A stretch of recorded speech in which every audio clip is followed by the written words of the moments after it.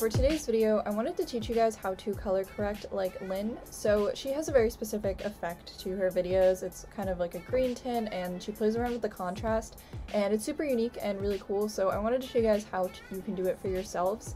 Now I'm going to be breaking this tutorial up into two parts. I'm going to be teaching you how to do it on Final Cut Pro and I will also be teaching you how to do it on CuteCut or CuteCut Pro depending on if you have the paid version or not. Um, but the effects that you can do are still the same no matter if the CuteCut version you have is paid or not. And I will also be explaining it in a way that if you do not have um, these software, then you can actually adapt this to whichever one you have, or you can edit your photos in the similar way. So anyway, without further ado, let's just get started with it. So this is pretty much what Linh's video looked like. This was the color correction I found that I wanted to replicate. So for this video, I'm just using this clip of me studying because it's pretty simple. So what you're first going to want to do is go over to the right menu right here and you want to go to this option which is your effects option and drag and drop a color board over top so the first thing we're going to edit is the saturation. Now Linh's videos are pretty saturated, not overly saturated like Alisha Marie's Schoolisha saturation, but definitely saturated. So I'm going to go ahead and drag up the middle saturation tool and then play around with the other ones so that it looks sort of natural. But so as you guys can see here, my skin doesn't look too orange, so I'm going to go ahead and go with this and we can change it later. Next, what we're going to do is we're going to play around with the contrast. So uh, what, the way we're going to do this is with a curve. So when you're in the color board option here, you'll see this arrow. You're to click on that and click on color curve and it's to add this. And you'll see that there are all these options, but the only one we're to play with is the Luma. So I'm to go ahead and I'm to drop a dot here, here, and here so that we have five in total. And then what I'm to go ahead and do is make it look almost like an S. So I'm to drag this bottom part up now I don't want to go too much because you can see that this just lightens the shadows and I only want to do that a little bit so that it makes it less contrasted. And then I'm going to go ahead and repeat that, but I'm going to make the highlights a little bit darker and I'm just going to do that by playing with this here on the other end of it. And then you can play around with the middle tones. So I'm going to drag that down a little bit. Now the next thing I'm going to go ahead and do is add another color board by again going to that arrow and going to color board and this time we're going to be playing with the tint of it.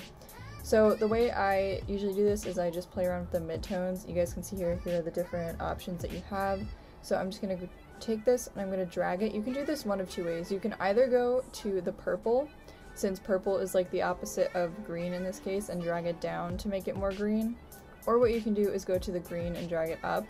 I think the purple one looks a little bit more natural, so you guys can go ahead and do that. But it just comes to a lot of playing around with it to see what you like. Now, her, Linh's videos aren't super green, it's just like a slight green tint, so I'm going to try and replicate that like so. And then I'm just going to play it and see if there's anything I want to change. So I'm going to go ahead and go back to that saturation on color board 1. And I think I'm going to fix it a little bit because I think it's a little too saturated for my liking.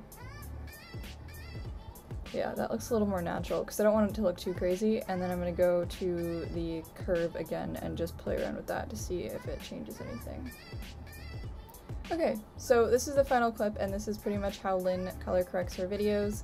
And now I'm going to go ahead and teach you guys how to do it on CuteCut. So the process is a little bit more simple on CuteCut because the options that we use are there except you don't have as much freedom with the color correction as you do in Final Cut. Anyway, so the first thing you're going to want to do is double tap on the clip that you want to edit and then scroll on the bottom until you see these three circles right here and those are your color tool options. So the first thing we're going to do like before is change the saturation and just up it a little bit. Um, it's hard to like drag it and see as you're going so you just kind of have to go to random spots and see if you like it. I'm going to go ahead with that one right now. Then I'm to go to my contrast and I'm just to play with it. So obviously we don't want more contrast, we want a little bit less. So I'm to go ahead and go to negative, let's go with negative 14. Yeah, and then you can also play with the brightness too to make it a little bit darker, a little bit lighter, depending on what you want. That'll also help with um, getting that uh, less contrasted look that Linh has. So next we're to go to the, the colors option and go to green, and I'm just to turn green up a tiny bit this is really hard on CuteCut, but there are these little arrows that you can use. I'm just going to turn it up a little bit so that it has a green tint for the most part. And then this is generally the color correction. I'm gonna go ahead and fix it though. I think I want it to be a little bit more saturated, so I'm gonna play around with it until I like it. I do want it to be a little bit more contrasted too, so I'm gonna edit that. And then this is what the final clip looks like.